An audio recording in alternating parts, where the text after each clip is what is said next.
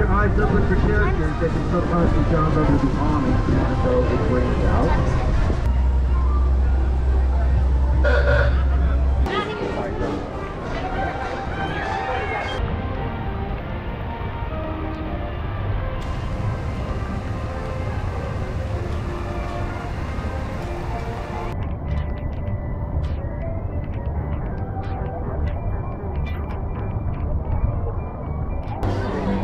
Yeah.